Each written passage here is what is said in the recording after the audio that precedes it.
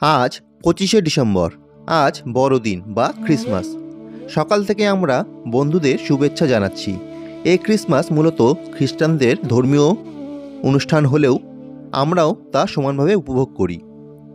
কিন্তু আজ Christmas day পালন করলেও বা সেলিব্রেশন করলেও আমরা অধিকাংশ সনাতনী বা হিন্দুরা জানি না যে আজ হিন্দু ধর্মের সবচেয়ে পবিত্র গাছ বা উদ্ভিদ তুলসী পূজা দিবস।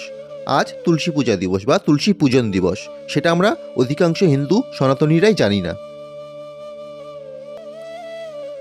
তো চলো বন্ধুরা এই তুলসী কে ছিলেন তার পৌরাণিক কাহিনী আগে জেনে নিই। তারপরে জানব এই তুলসী গাছের উপকারিতা।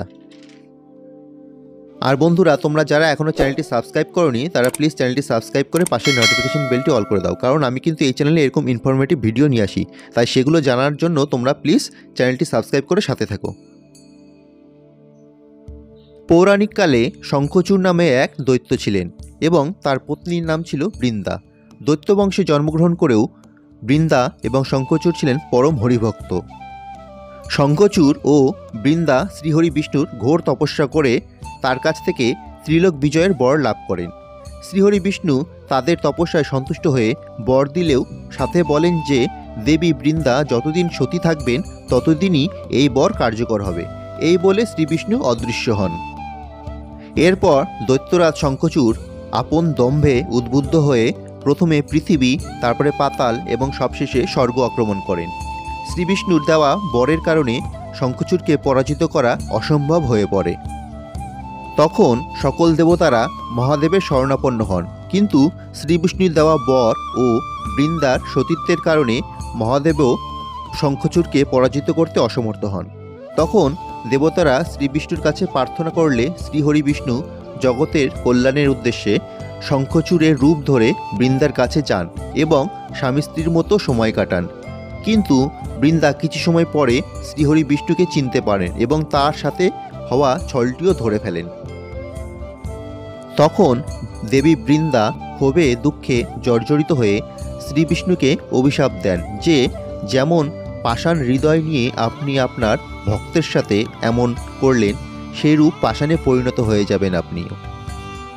পরমেশ্বর ভগবানকে কে অভিশাপ দেবে এ কিন্তু প্রভু যেহেতু ভক্তবৎসল, ভক্তের ভালোবাসা যেমন তিনি নেন, তেমনি তার অভিশাপও মাথা পেতে নেন।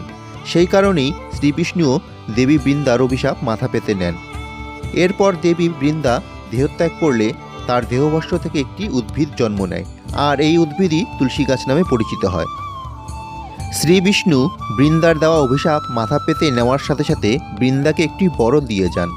তিনি বলেন, তিনি নিজে এখন থেকে শালিগ্রাম শিলা হিসাবে পূজিত হবেন এবং তার কোনো পূজায় তুলসী পাতা ছাড়া সম্পূর্ণ হবে না।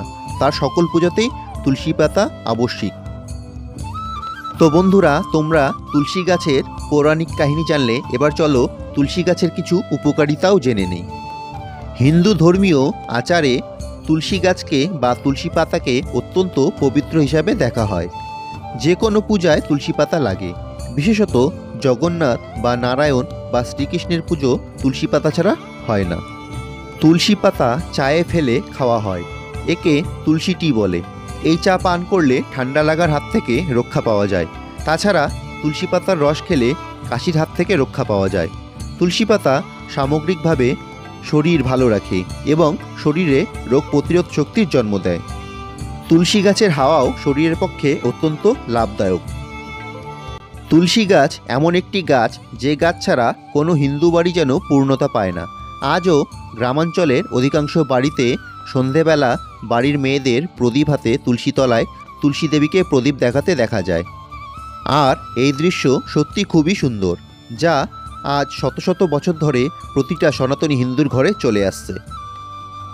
তো বন্ধুরা, ভিডিওটি তোমাদের কেমন লাগল? যদি ভালো লেগে থাকে, তাহলে লাইক কমেন্ট করে জানাবে আর বন্ধুদের সাথে শেয়ার করবে, যাতে বন্ধুরাও তুলসী গাছে গুণাগুণ জানতে পারে।